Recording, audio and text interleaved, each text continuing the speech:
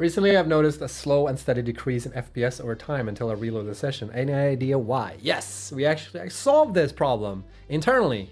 There's a memory leak in the game, and it took forever to find what it was.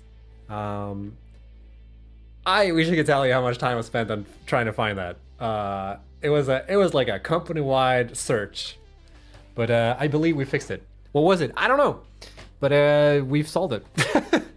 There's actually actually a couple of things I think, um, but it's been solved internally and it is known and it is on the current experimental version right now.